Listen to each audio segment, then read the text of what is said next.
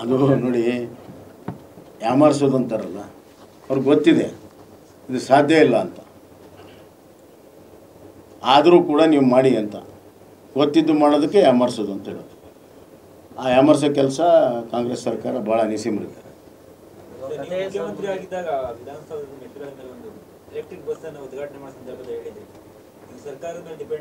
ನಿಗಮವನ್ನ. ಹೌದು ಯಾವಾಗಲೂ. ಅಲ್ಲ ಅದಕ್ಕೆ ಒಂದು ರಿಪೋರ್ಟು ಕೂಡ ಆಗಿದೆ. ಎರಡು ಸೆಕ್ಟರಲ್ಲಿ ನಾನು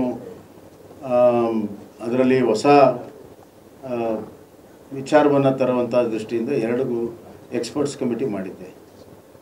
ಶ್ರೀನಿವಾಸ ಮೂರ್ತಿಯವರು ಫಾರ್ಮರ್ ಚೀಫ್ ಮಿನಿಸ್ಟರ್ ನೇತೃತ್ವದಲ್ಲಿ K S R T C ಸಲುವಾಗಿ ಅದನ್ನು ರಿವ್ಯಾಂಪ್ ಮಾಡಿ, ಅದನ್ನು ರೆವಿನ್ಯೂ ಮಾಡಲ್ ಮಾಡಿ ತನ್ನ ಕಾಲ ಮೇಲೆ ನಿಲ್ಕೋಬೇಕು, ಏನೆಲ್ಲ ಮಾಡ್ಬೋದು ಅಂತ ಹಲವಾರು ಸಲಹೆಗಳು ಬಂದಿದೆ, ರಿಪೋರ್ಟ್ ಬಂದಿದೆ, ಸರ್ಕಾರದ ಮುಂದಿದೆ.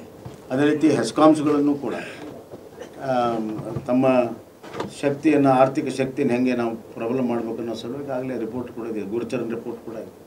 ಇವೆರಡು ಸೆಕ್ಟರ್ನ ರಾಜ್ಯ ಸರ್ಕಾರ ಸರಿ ಮಾಡಿದರೆ ಭಾಳಷ್ಟು ಸಮಸ್ಯೆಗಳನ್ನು, ಅಂದರೆ ಸಬ್ಸಿಡಿ ಔಟ್ಗೋಯಿಂಗ್ ಏನಿದೆ, ಅದು ನಿಲ್ತದೆ. ಈಗ ನೋಡಿ, ಈಗಾಗಲೇ ನಮ್ಮ ರಾಜ್ಯ ಸರ್ಕಾರ, ನಾವು ಬಿ ಜೆ ಪಿ ಸರ್ಕಾರ ರೈತರಿಗೆ ಪುಕಟೆ ಕರೆಂಟ್ ಕೊಡ್ತಾ ಇದ್ದೀವಿ.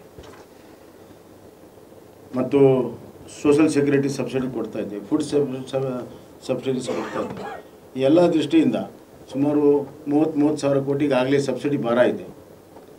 ಪ್ಲಸ್ ಈಗ ಇವ್ರದ್ದೊಂದು ಸುಮಾರು ಐವತ್ತು, ಐವತ್ತರಿಂದ ಐವತ್ತೈದು ಕೋಟಿ ಸಾವಿರ ಕೋಟಿ ಸಬ್ಸಿಡಿ ಇವರೇ ಸಿ ಎಂ ಹೇಳಿದ್ದೆ ನನಗೆ ನಾನು ಕ್ಯಾಲ್ಕುಲೇಟ್ ಮಾಡಿದ್ದೆ ಹಾಂ ಐವತ್ತೆರಡು ಸಾವಿರ ಕೋಟಿ ಅಂತೇನು ಹೇಳಿದ್ದಾರೆ.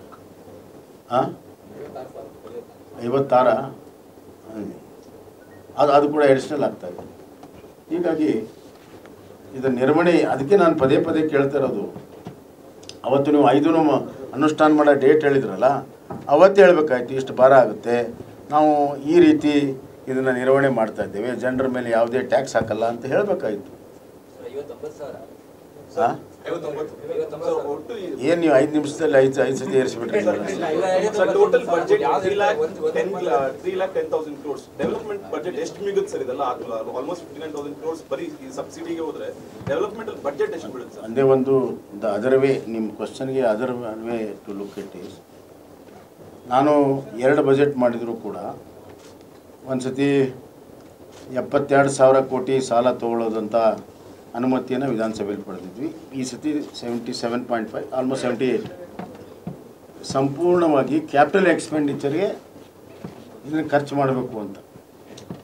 ಕ್ಯಾಪಿಟಲ್ ಎಕ್ಸ್ಪೆಂಡಿಚರ್ಗೆ ಅದು ಸ್ಕೂಲ್ ಬಿಲ್ಡಿಂಗ್ ಇರ್ಬೋದು, ಅಥವಾ ಹಾಸ್ಟೆಲ್ಗಳಿರ್ಬೋದು ಆಸ್ಪತ್ರೆಗಳಿರ್ಬೋದು ರೋಡ್ಸ್ ಇರ್ಬೋದು ಬ್ರಿಡ್ಜಸ್ ಇರ್ಬೋದು ಅಸೆಟ್ ಕ್ರಿಯೇಟ್ ಆಗುವಂಥದ್ದಕ್ಕೆ ಕ್ಯಾಪಿಟಲ್ ಎಕ್ಸ್ಪೆಂಡಿಚರ್ ಎಲ್ಲ ಪರಿಣಿತರು ನಿಮ್ಮ ಲೋನ್ ತೊಗೊಂಡ್ರು ನೀವು ಕ್ಯಾಪಿಟಲ್ ಎಕ್ಸ್ಪೆಂಡಿಚರ್ಗೆ ಮಾಡಿದರೆ ಮುಂದಿನ ದಿನಗಳಲ್ಲಿ ಹೆಚ್ಚಿನ ಆದಾಯ ಕೊಡ್ತಿದ್ದೆ ರೀಪೇಮೆಂಟ್ ಭಾಳ ಸುಲಭ ಆಗುತ್ತೆ.